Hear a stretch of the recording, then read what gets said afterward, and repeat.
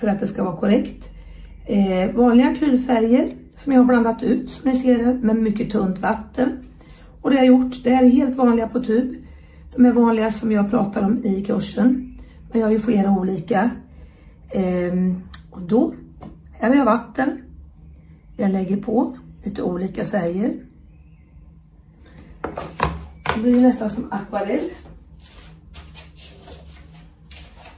En pensel till. Och jag lägger på. Och jag lägger på mycket vatten. Eh, vattnet är viktigt i den här biten, när jag gör det här. Eh, jag tar även lite brunt.